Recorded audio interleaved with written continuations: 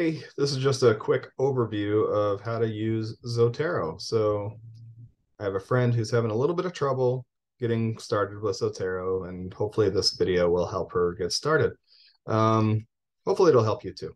So if you don't already have Zotero, you can go to the website, download it. It's free. It's easy to install. It's quick. Um, here it is. It's on my desktop. And if you can't find it, sometimes it doesn't automatically save to the desktop if you have your settings that way. So you can just type in Zotero and it will pop open.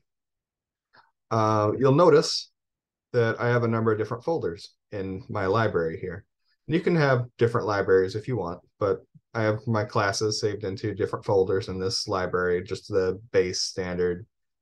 Um, and it's just like Windows. You can add any new folder at any time.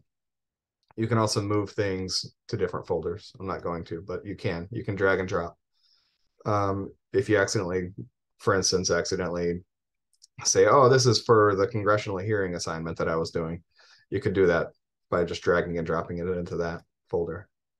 Uh, so I have the different articles that I've researched previously.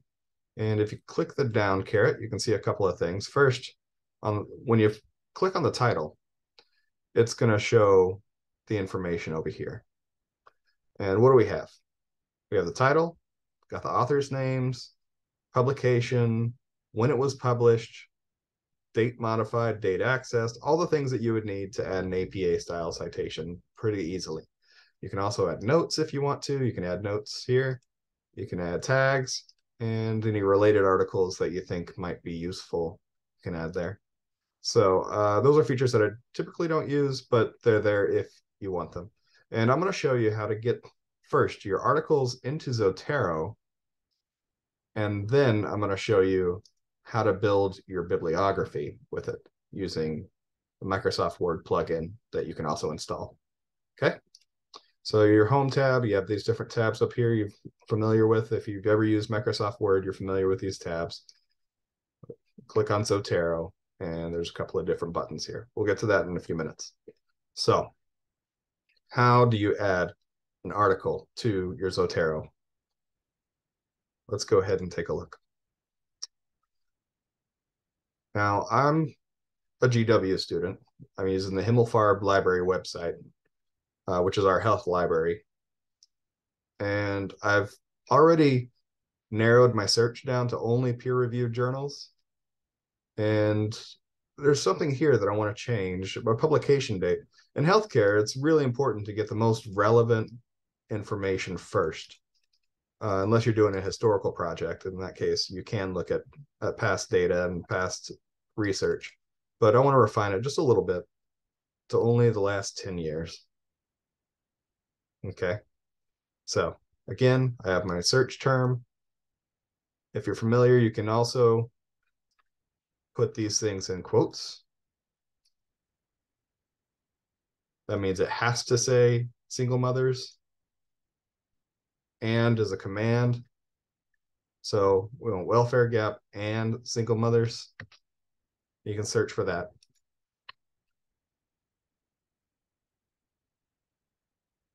Okay. So we have a list of articles.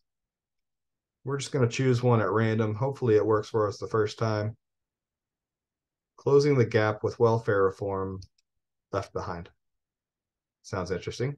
Let's say that I choose to uh, save this or at least consider citing it in a, in a future paper. And we have these different ways to access it. I'm just going to go to Sage Journal. It's the first one. Error. Yeah. Okay. Uh, I think this is one I had trouble with before.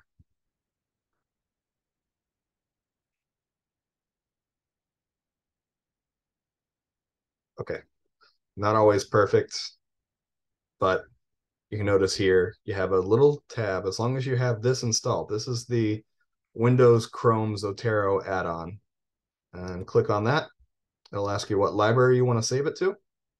And you have these options. These are all my different libraries. Again, the same ones that you saw in the Zotero Windows application. And it saved the PDF format. So let's take a look. Did that save the right way? And we have it here. closing the gap on welfare reform left behind. It's the same one that we were looking at earlier. And now we have two copies of it, but that's okay. I can just delete it and remove it from my Zotero uh, library. Not a problem. Okay. So now you have a list of different articles that you're interested in, in using in your paper. How do you actually do it? Back to Microsoft Word. We're going to take a look. So this is a research project that I'm currently working on. It's in progress, so this isn't a full thought out experiment yet. So we're going to ignore that for now. But I have one citation that I've already added. I'm going to add a citation to this sentence. And here it is. That's the citation that I wanted to add. And from your bar again, you have Zotero. And we want to double check to make sure. Whoops. Okay. Let's say we want to add this article. Looks interesting. I am adding a new citation to my paper. Okay. You add period if you want to, or you can add it after. Add citation. You just click on this button here, and it opens a search box. Lone and partnered, and it's the first thing that comes up. Comes up alphabetical, so if you type in do or does, anything that has do or does in it, it's gonna come up. So let's go back. Lone and partnered mothers. Okay, click enter. You see the citation there. You can add multiple citations to a, to a sentence by continuing. So for instance, if you want to say QUT quote law review, there's that one there that you could add. And we're not going to do that. I'm just going to add this one citation click enter. It adds it in the APA format, which is what I have in my settings, document preferences, APA.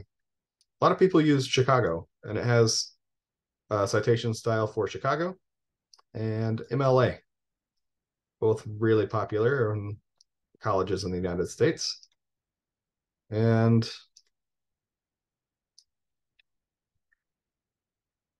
let's now say that I'm finished writing my paper. I feel really good about everything that's in here.